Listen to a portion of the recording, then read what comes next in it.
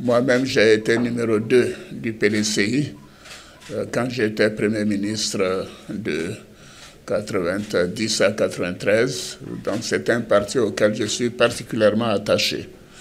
Et c'est un parti avec euh, lequel euh, le RHDP a des relations fortes, étroites, la même philosophie, la même vision pour une Côte d'Ivoire en paix, stable et prospère.